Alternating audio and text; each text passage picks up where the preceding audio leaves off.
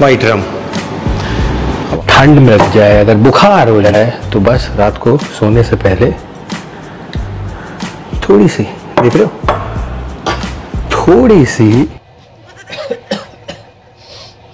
भाई थोड़ी सी डालना यार इसमें।